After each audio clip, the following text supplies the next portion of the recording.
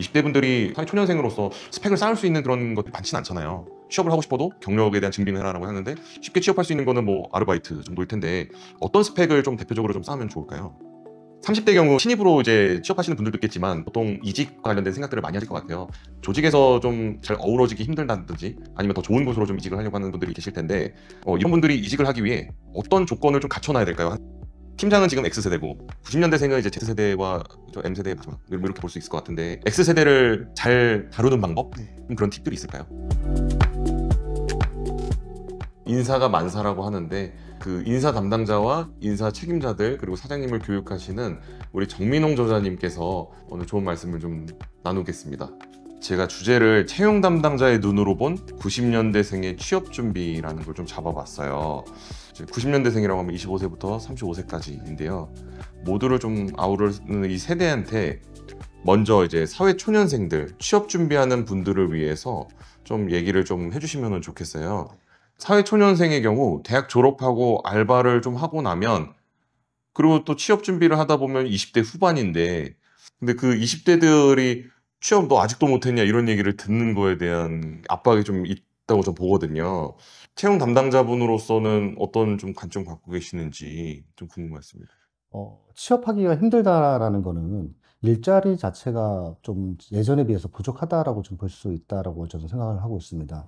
최대한 사람에 대한 구인 없이 어, 생산성을 높이는 방안을 많이 노력하다 보니까 AI나 로봇이 많이 어, 대체가 되고 있다라는 사실에 어, 첫 번째 어, 일자리가 없다라는 게 첫 번째 이유가고요. 어, 두 번째 같은 경우는 아무래도 어, 양질의 일자리가 좀 많이 부족하다는 측면에서 보시면 되지 않을까라고 생각을 좀 하고 있습니다. 그래서 제가 드리고 싶은 얘기는요. 정형화된 취업 활동에 대해서 약간 벗어날 필요가 있다. 이런 행위를 하는 것보다는 일단은 어, 새로운 먹거리를 찾기 위해서는 본인이 먼저 어, 체감할 수 있는 경험이 전 중요하다라고 생각을 좀 하고 있습니다.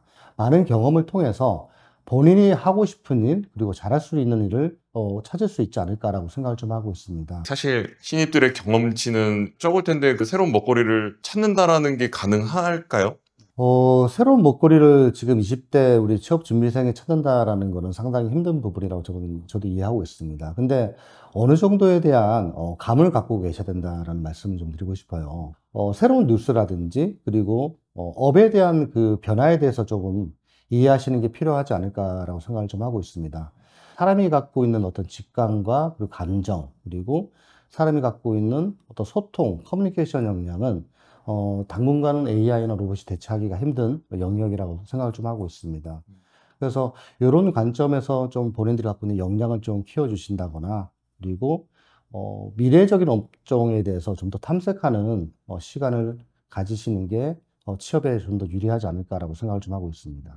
이 30대 분들 같은 경우에는 한 27, 28까지 어느 정도 공부도 하고 그러다가 취직을 하기도 하잖아요. 그런 고학력자 분들에 대한 차별화라든지 소외되게 만들어서 좀 나가게 만든다든지 뭐 이런 것들에 대한 것 얘기가 꽤 있더라고요.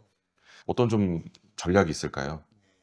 조직이라는 게요, 어, 상당히 보면은 어, 좀 이기적인 부분이 좀 있어요. 그래서 나랑 같이 어울리지 못하는 사람을 좀 배척하거나 좀 배격하는 부분이 분명히 좀 있다라고 좀 생각을 좀 하고 있습니다. 어, 그렇기 때문에 이 우수한 인재다라고 하면 경계를 하게 되죠. 왜냐면은 조직은 어떤 경쟁에 의해서 어, 올라갈 수 있는 자리가 한정적이다 보니까 어, 당연한 전 논리라고 판단을 좀 하고 있습니다. 그러면 이걸 어떻게 극복을 할 것이냐. 내가 이 사람들보다 다르다라는 자세를 갖고 있기 때문에 그게 느껴지는 겁니다. 그래서 더 차별성 있다라는 거를 본인이 표현하는 순간 저는 그 조직에서 융화되기도 힘들고 성장 가능성은 없다라고 판단하고 있습니다. 물론 일시적인 어, 성장이라든지 유지는 할수 있지만 어, 지속적인 성장은 좀 힘들다라고 파악을 좀 하고 있어요.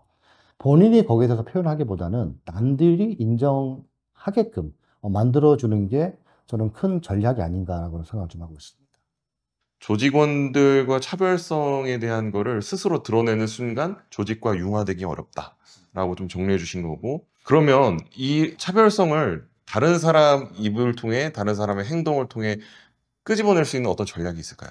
근데 아까 또 연결해서 말씀을 드리면 이 조직이라는 게 상당히 어, 좀 튀는 사람들을 아직까지는 그렇게 선호하지 않는 게 사실이에요. 경쟁력 있게 뭐 차별성 있는 인재, 창의성 있는 인재라고 얘기를 하겠지만은 아 근데 아직까지 현재 우리 리더 역할을 하시는 분들이 거의 X세대입니다. 40대 중반에서 50대 뭐 초중반 되시는 분들이다 보니까 이런 와중에 본인이 PR을 한다라고 하면 어, 그렇게 조금 달갑게 보이지는 저는 않을 거라고 판단을 하고 있습니다.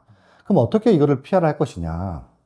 제일 갖고 어, 갖춰야 될 역량은 저는 문제 해결 역량이라고 파악을 하고 있습니다. 그래서 기존에 하는 행정 업무 아니면은 어, 프로세스 업무를 내 관점에서 새로운 접근 방식으로 제안해 주시게 되면 어, 상당히 인정받지 않을까라고 생각을 좀 하고 있습니다.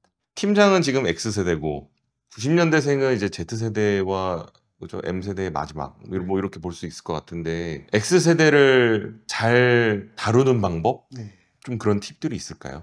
뭐 소위 해서 우리 팀장들, 우리 임원들을 잘 다루는 방법은 저는 분명히 있다고 판단을 좀 하고 있어요. 어, 저도 20년 동안 조직생활 하면서 이런 사원들이 참 좀 보기 좋더라라고 말씀드리고 싶은 거는요. 책임감이 상당히 좀 중요할 것 같아요. 낚기라는 게 있어요. 업무라는 게. 어, 그거를 일단 지켜주는 게 상당히 저는 어, 중요한 부분이라 좀 판단을 하고 있고요. 이 업무에 대한 언제까지 좀 진행해라에 기한 X세대에 대한 경영진에 대해서 상당히 인정받는 포인트라고 보고 있고요. 어, 두 번째는 그런 고정관념이 있어요. 다 그런 건 아닌데, 새로운 우리 세대들 같은 경우는 어, 사람들하고 어울리기 좀 힘들 거다라는 고정관념이 있습니다. 그리고 그 일가 외에서 회식 문화에 대해서 상당히 거부감이 있을 거다.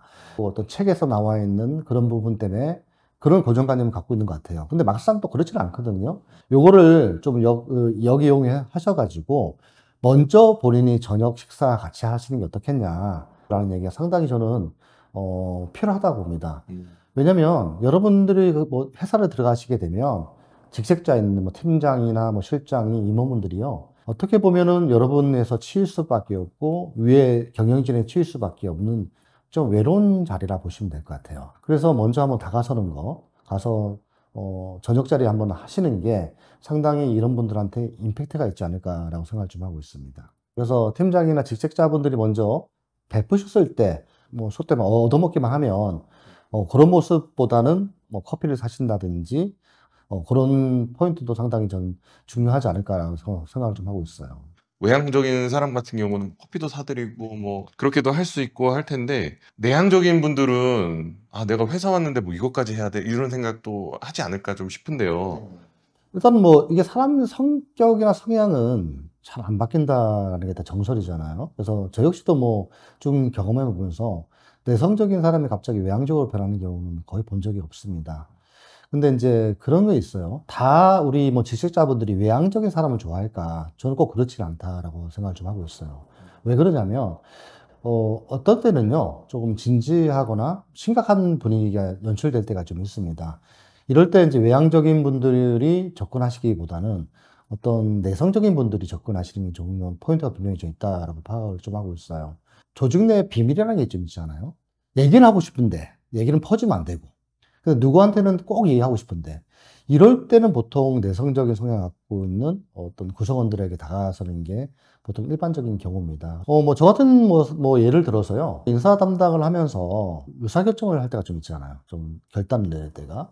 근데 혼자 하기는 상당히, 상당히 힘들어요. 어, 그럴 때는 이제 저 같은 경우도 조금 감옥하거나 좀 내성적인 우리 팀원이라든지 구성원들을 좀 찾아가서 어, 고민 상담을 하거나 어, 조언을 얻고 있습니다. 그래서 이럴 때 본인들이 어, 좀 필요한 위치가 아닌가라고 생각을 좀 하고 있습니다. 그래서 어, 억지로 외향적으로 바꾸려고 하지 마시고요. 내가 할 수 있는 역할이 분명히 좀 있다라고 봐요. 내성적인 분들이. 묵묵히 일을 하면서 동시에 외부로 발설하지 않는 좀 무거운 입을 가진 분들이 내성적인 분들의 좀 특징이 될 수도 있겠네요. 인사팀에는 비율이 어떻게 되나요? 거의 제가 보니까는 뭐 한 8대 2 정도? 10명이라고 하면은 한 7, 8분들은 좀 외향적인 성향을 가지고, 가지고 있고요. 한 두 분 정도는 좀 내성적인 성향을 갖고 있습니다.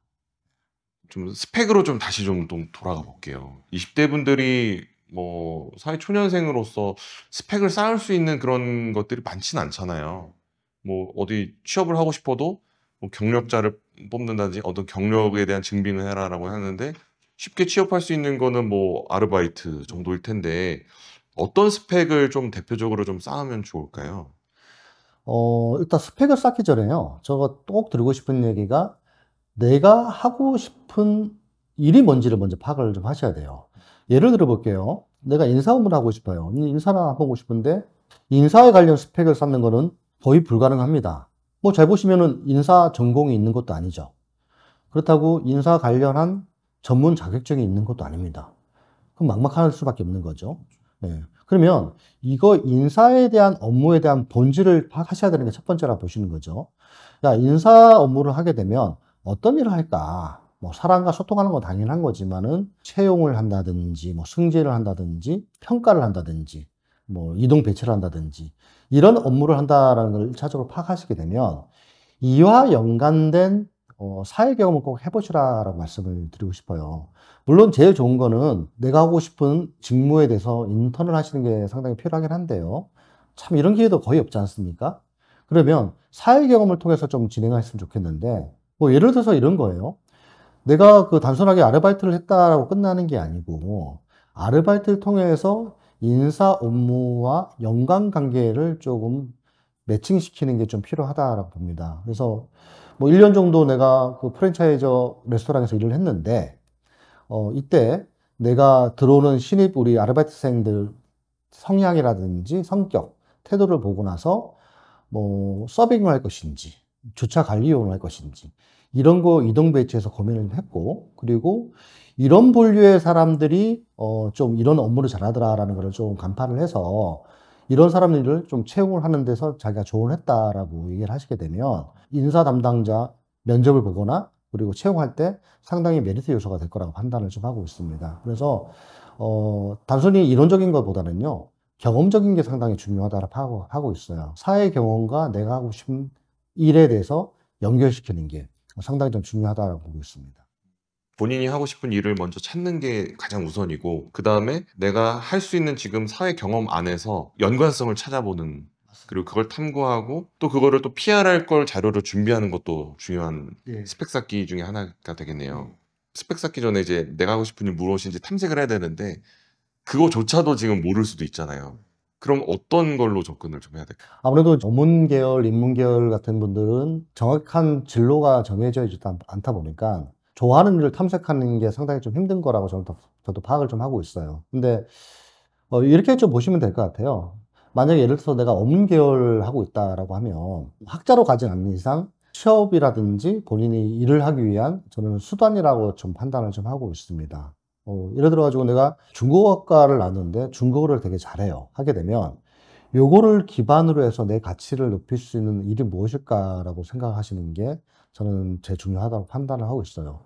뭐 당연히 그렇게 되면 해외 영업 쪽이라든지 어, 해외에서 주재원 생활을 한다든지 이렇게까지 연결이 될 수가 있을 것 같습니다. 그래서 우선적으로는요, 아무리 어머니나 인문학 계열 같은 경우는 내가 하는 전공에 대해서 충실하셔야 됩니다. 예.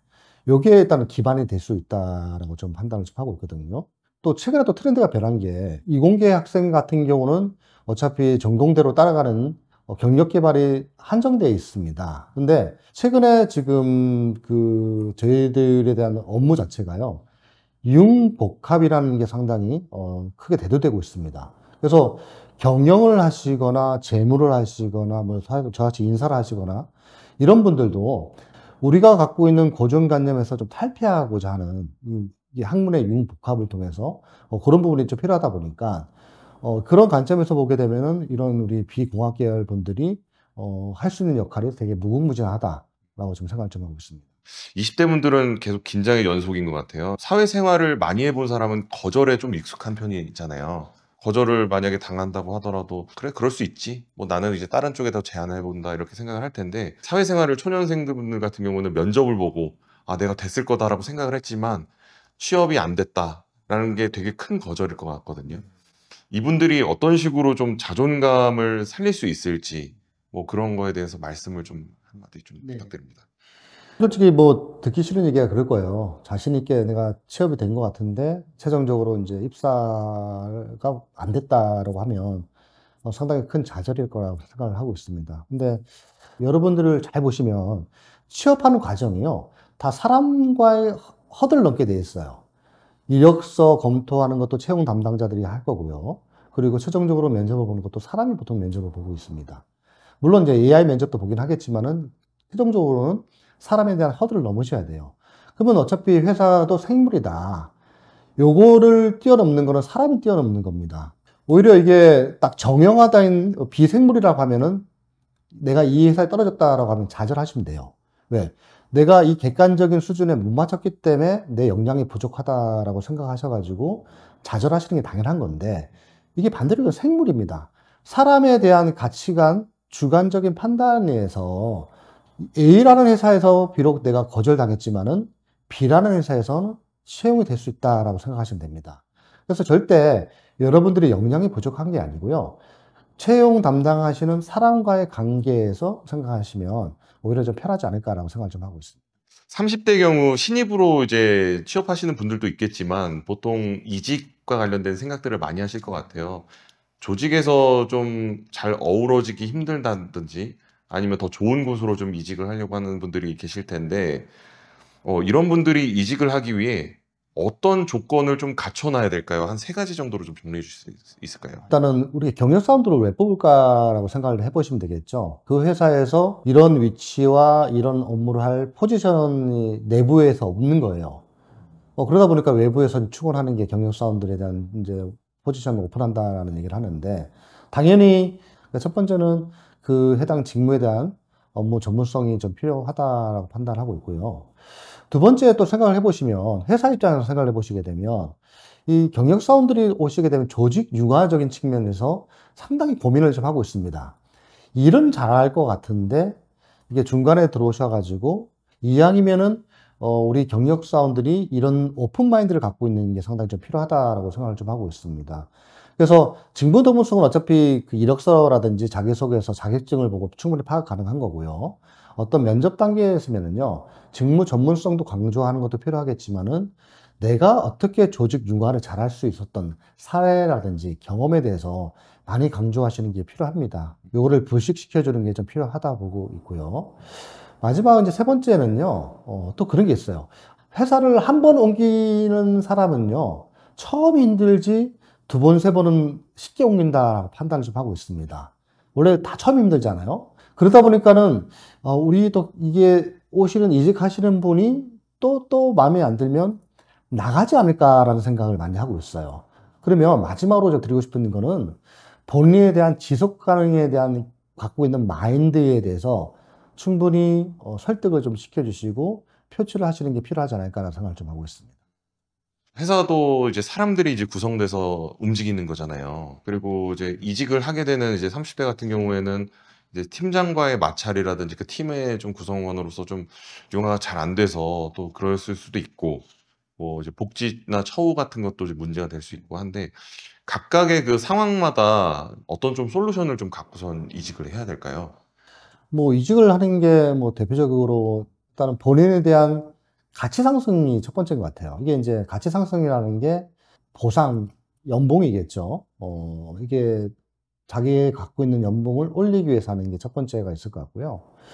두 번째는 아무래도 이제 기존 조직에 대해서 조직 융화가 좀 힘들다 보니까 오시는 분들이 두 번째라고 보고 있고, 어, 세 번째가 이제 경력 개발 때문에 오시는 분이 계세요. 그래서 기존에 있던 회사 업무가 되게 routine하거나 operating 업무 하다 보니까 내가 더 이상 성장할 수 없겠구나라는 측면이 세 번째라고 보고 있습니다. 어, 근데 첫 번째 같은 경우는요, 연봉 수준이 올라가는 기준이 무엇이냐. 음? 그걸 먼저 검토를 해보실 필요는 있습니다. 내가 현재 다니는 회사를 잘 다니고 있어요. 있는데, 어, 점프하는 게 맞는 거냐라는 거는, 어, 저는 일단은 뭐 제 개인적인 사견으로는 좀 반대 의견을 좀 드리고 싶습니다. 왜냐면, 어, 이게 조직이라는 게요, 어, 뭐, 혼자 뭐 스타트업을 한다, 한다든지, 아니면 혼자 PM 역할을 하는 그런 업무를 제외하고는 다 사람들과 협업을 하고 어, 어울려서 할 수밖에 없는 일이다 보니까 본인이 적응하는 시간이 상당히 많이 좀 소요될 거다라고 판단을 좀 하고 있습니다. 정말 파격적인 조건이 아닌 이상 어, 기존에 있는 회사를 유지하는 게 좀 필요하다 보는 거고요. 두 번째가 제일 참 머리 아픈 경우가 두 번째예요. 조직 육아 측면에서 내가 어떤 상사와의 관계가 좀 문제가 있어요. 근데 이제 이런 것 때문에 또 이직을 하시게 되면 음, 두 가지 이유가 좀 걸립니다. 첫 번째, 최근에 또 이렇게 reference 경력 조사도 많이 하거든요. 하다 보니까 관계가 안 좋은 상태에서 나오게 되면 어, 혹시나 reference가 안 좋게 나올 수가 있는 부분이 첫 번째가 있을 것 같고요. 두 번째는 같은 합리적인 의심을 하게 됩니다. 그러니까 거기서 조직 융화를 못해서 상사 갈등이 있었는데 여기 와서도 문제가 있지 않을까라는 생각을 좀 할 수 있겠죠. 그래서 두 번째 이유 때문에 너무 스트레스 받아서 이직하시는 분들은요. 저는 이직하시는 거에 대해서 반대는 하진 않습니다만은 이 사유에 대해서는 절대 어, 어떤 이력서상이라든지 면접상에서 표출하시면 안 된다라고 말씀을 꼭 드리고 싶어요. 그래서 다른 핑계를 좀 대시는 게 낫고요. 이런 핑계를 이런 이유를 대시게 되면은 어, 좀 이직하시는데 힘들 거라고 판단하고 있습니다. 어, 세 번째 마지막으로 드리고 제가 말씀드렸던 것처럼 어떤 업무에 대한 확장성, 경력에 대한 성장 때문에 오시는 분들이 계시는데요.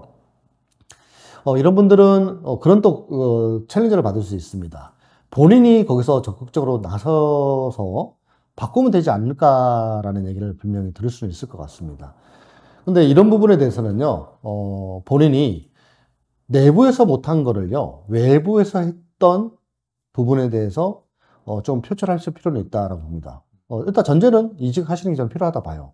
더 이상 본인의 변화, 발전이 없으면 당연히 이직하시는 필요한데, 어, 근데 이제 본인이 내 탓이라는 부분도 분명히 같이 갖고 가셔야 돼요. 이게 뭔 얘기냐면, 우리 회사에 갖고 있는 기존의 구성원들이 문제라고 판단을 하시기보다는 내가 노력을 했던 부분에 대해서, 그러니까는 예를 들어갖고 내가 내부적으로 할 수 없었다면은 외부에서 했던 활동과 행동에 대해서 어, 좀 피력하시는 게 필요합니다. 예를 들어서 내가 마케팅을 너무 하고 싶어요. 근데 우리 회사는 너무 이렇게 마케팅에 대한 업무가 별로 없어요. 그러면 어떻게 하셔야 될까요? 외부에 가셔가지고 외부 활동을 통해서 그런 마케팅 활동을 했던 부분에 대해서 어, 피력하시게 되면은 어, 좋은 점수를 얻지 않을까라고 생각을 좀 하고 있습니다. 일단 뭐 제 사례를 좀 들어드릴까요? 그래서 저는 HR 업무를 하면서요. 내부에서 할 수 있는 영역도 제대로 한정적이에요. 왜? 기존의 구성원들을 가지고 뭐 매번 인사 평가 보상 체계를 바꿀 수도 있는 것도 아니고요.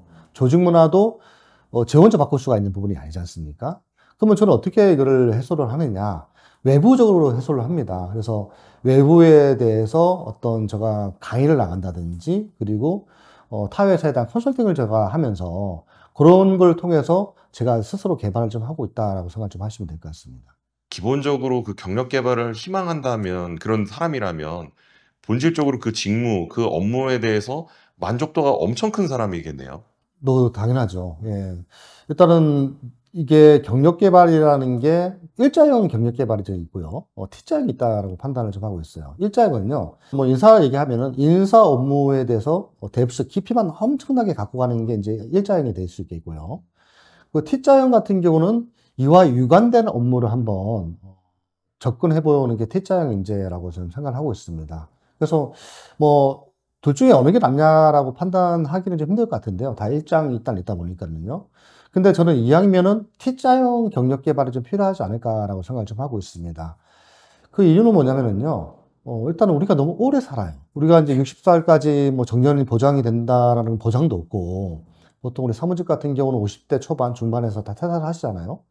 근데 지금 우리가 평균 수명이 80살, 90살까지 넘어가는 시점에서 최소한 20년 이상은 또 다른 업무를 할 필요는 있다라고 생각을 좀 하고 있는 거죠. 그러다 보니까, 어, 한 곳만, 하루만 파는 것도 필요할 것 같은데요. 초반에 한 10년 이상은 한 업무를 하되, 그 이후에는 약간 T자형으로 육아 업무도 한번 탐색하시는 게 필요하지 않을까라고 생각을 좀 하고 있습니다. 나이로는 어느 정도 나이 때부터 좀 T자형으로 좀 가는 게 괜찮을까요? 어, 일단 저 같다고 경험상 보니까는요, 뭐 회사, 그리고 직무에 따라서 약간 차별은 좀 있을 거예요. 근데, 어, 한 10년 정도의 직무에 일단은 그 업무에 좀 충실했다는 보장하에 하시게 되면은 30대 후반에 40대 정도에서는 한번 다른 직무도 한번 틀어주는 것도 필요하지 않을까라고 생각을 좀 하고 있어요. 그러면 일자형 인재로서 본인을 10년 동안 담금질하고 네. 그 이후부터는 T자형 인재로서 확장하라 네. 라는 걸로 좀 들리겠네요. 네.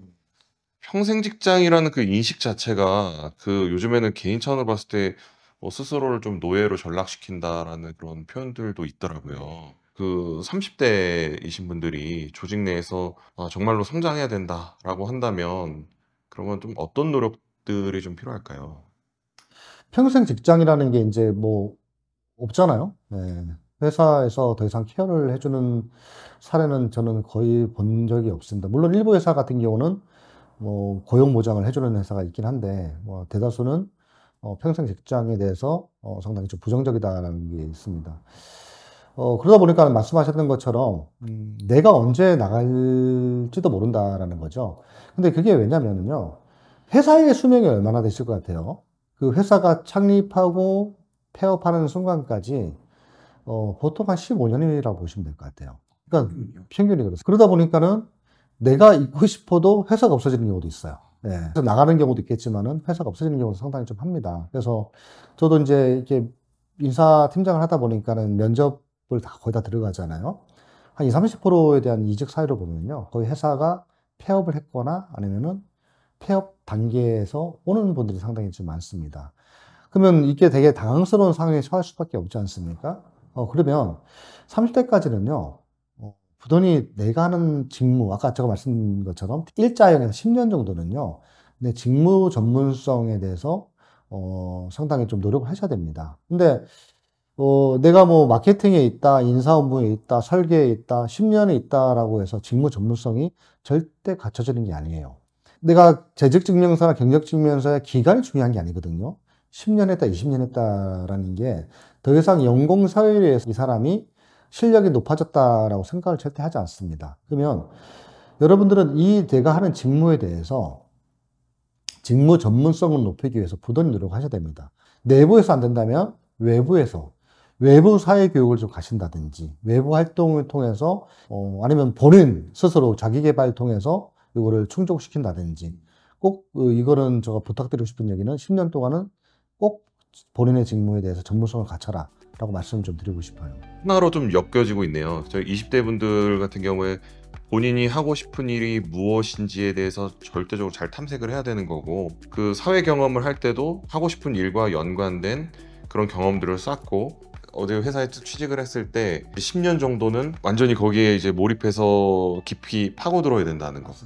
그리고 이제 30대가 됐을 때 이제 10년 정도 하고 나서는 T자형으로 이제 인재가 돼야 된다. 라는 걸로 좀 이제 방향성을 좀 잡을 수 있겠네요.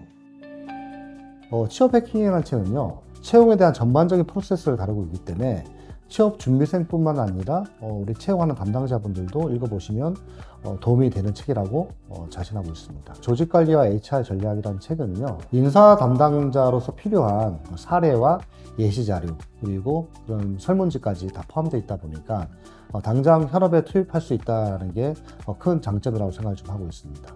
오늘도 배움이 가득한 하루가 되세요. 감사합니다. 감사합니다.